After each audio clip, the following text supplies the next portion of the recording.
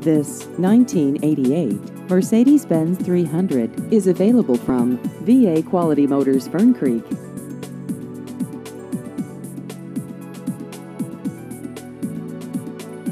This vehicle has just over 174,000 miles.